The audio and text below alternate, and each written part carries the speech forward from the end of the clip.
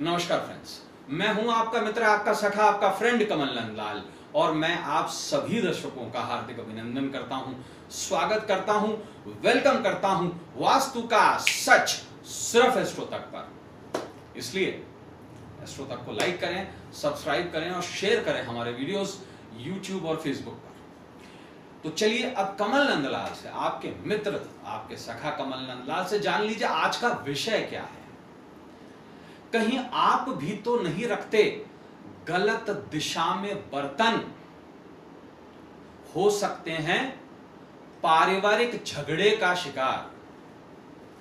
आपने कहावत तो सुनी ही होगी कि जहाँ पर भी दो बर्तन हो, आपस में टकराते ज़रूर हैं। जी हाँ, सच्चाई है बर्तन अगर गलत दिशा में रख दिए जाएँ तो वो निश्चित रूप से बहुत बुरा प्रभाव देते हैं पारिवारिक स्थिति को। और कई लोग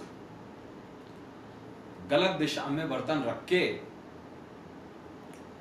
पारिवारिक विवाद को जन्म भी दे देते हैं, जाने अनजाने। देखिए, इस दुनिया में कोई भी ऐसी चीज़ नहीं है जो वास्तु से संबंध ना रखती हो। उसका मूलभूत कारण है, वास्तु हर जगह पर वास करता है।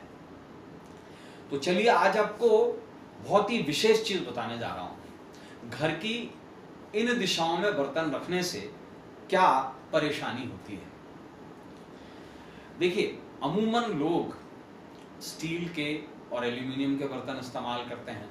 कुछ लोग क्रॉकरी का इस्तेमाल करते हैं, जो अमूमन चीनी मिट्टी से बनी हुई होती है। कुछ मेलामाइन का इस्तेमाल करते हैं और कुछ लोग विशेषतर कुछ लोग आज भी पारंपरिक रूप से पीतल और कांसे के बर्तनों का इस्तेमाल करते हैं, लेकिन बहुत कम है। तो आज हम बात करेंगे मेजॉरिटी चीज़ों की। अमूमन लोग भारत के लगभग लगभग छियानवे, सत्तानवे प्रतिशत लोग आम दिनों में स्टील के बर्तनों में खान पान करते हैं। और आपने देखा होगा, लोग जब स्टील के बर्तनों को धोते हैं इकट्ठा तो उसको उल्टा करके रख देते हैं, ताकि वो जल्दी सूख जाए, उसमें से पानी निथर जाए। लेकिन क्या आपने कभी महसूस किया है कि किसी भी दिन आपके घर में अगर बर्तन आपस में ज़्यादा टकरा रहे हों, या बर्तन नीचे गिर रहे हों तो आपके जीवन में पारिवारिक विवाद की स्थिति बन जाती है। घरेलू झगड़े हो जाते हैं। इसका सबसे बड़ा कारण है, बर्तन जो है हमारे जीवन में, उसको हमने धनवंतरी से जोड़ा है। अब धनवंतरी से अर्थ क्या है? धनवंतरी एक वैद्य थे, जिनकी पूजा हम धनत्रयोदशी, धनतेरस के दिन करते हैं। हम बर्तन भी खरीद के लेके आते हैं। किसी भी तरीके का बर्तन एक कुंभ के समान ही होता है।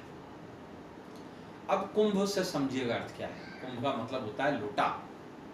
कुंभ का मतलब होता है एक ऐसा पात्र जिसमें हम जल रखते हैं, या हम सब्ज़ी भी रख सकते हैं, या हम चावल भी रख सकते हैं, पकाने के पश्चात। कुंभ की लोकेशन अलग अलग बताई गई है।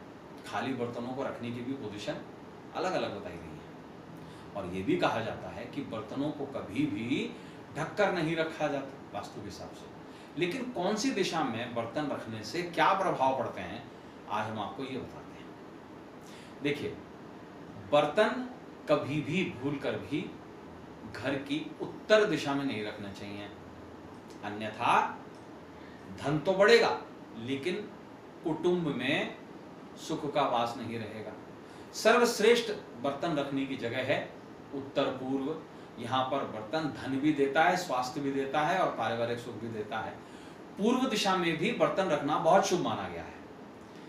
दक्षिण पूर्व मूलतः खाना बनाने के लिए बहुत शुभ है, लेकिन बर्तन रखने के लिए नहीं। यहाँ पर बर्तन रखने से अमूमन घर की पारिवारिक जो महिलाएँ हैं, उनको शारीरिक कष्ट होते हैं। बात करते हैं अब दक्षिण दिशा की।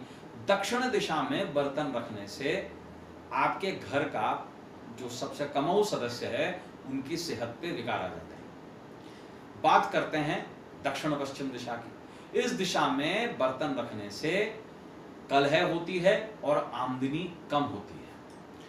पश्चिम दिशा में बर्तन रखने से अमूमन व्यक्ति के कार्य क्षेत्र में, जो अर्निंग मेंबर है फैमिली का, उसके प्रोफेशन में दिक्कतें आती हैं और जितने भी बुज़ुर्ग होते हैं, उनके सेहत में दिक्कतें आना शुरू हो जाती हैं।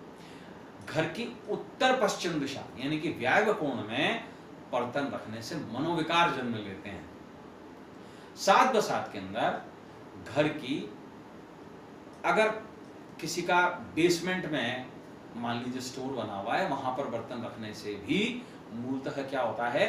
धन जो होता है, वो तो संचित अच्छा हो जाता है कि परिवार सदस्यों के बीच में कलह बहुत रहती है। कई लोगों का किचन टेरिस पे भी बना हुआ होता है तो वो जो बर्तन है वो टेरिस पे ले जाते हैं, या टेरिस पे रखते हैं।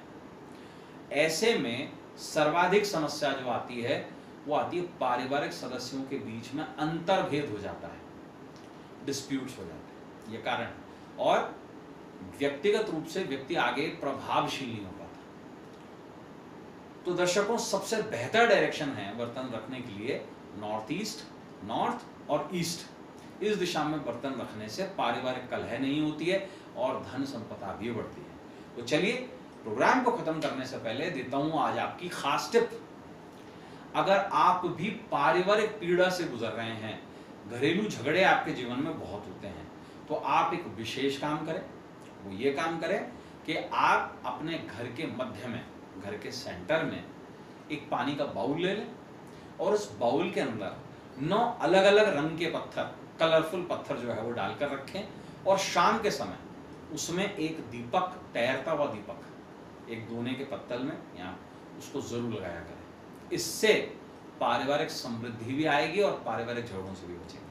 तो फ्रेंड्स आज के लिए बस इतना ही। कल आपसे फिर मुलाकात होगी। तब तक देखते रहें श्रोतक और अपने मित्र, अपने सखा, अपने फ्रेंड कमल नंदलाल को इजाज़त दीजिएगा। नमस्कार।